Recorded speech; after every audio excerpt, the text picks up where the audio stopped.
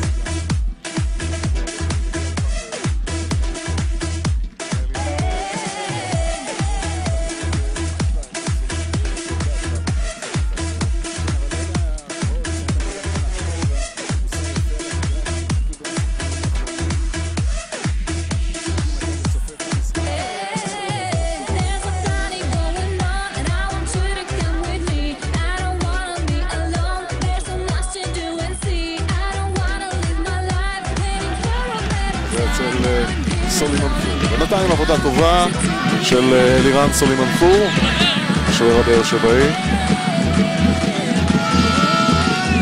יש, אתה יודע, לכל אורך הליגה אנחנו ראינו. ברגל שמאל, כדור שטוח, איזו טעות, דבור! נבלם שם אצל סולימן פור.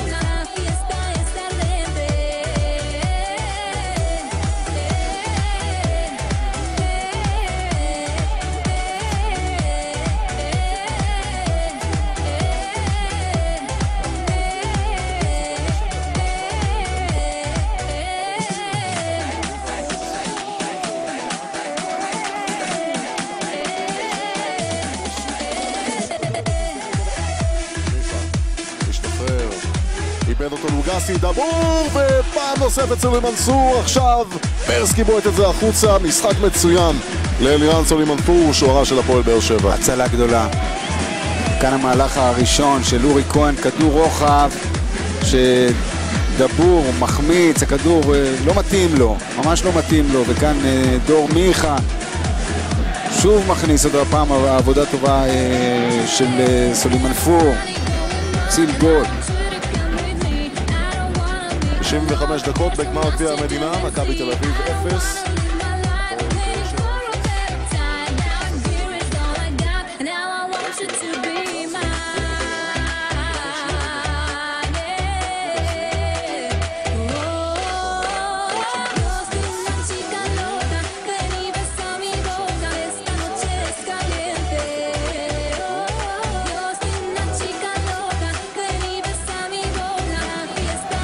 טוב מאוד של אה, אלירן סולימן פור.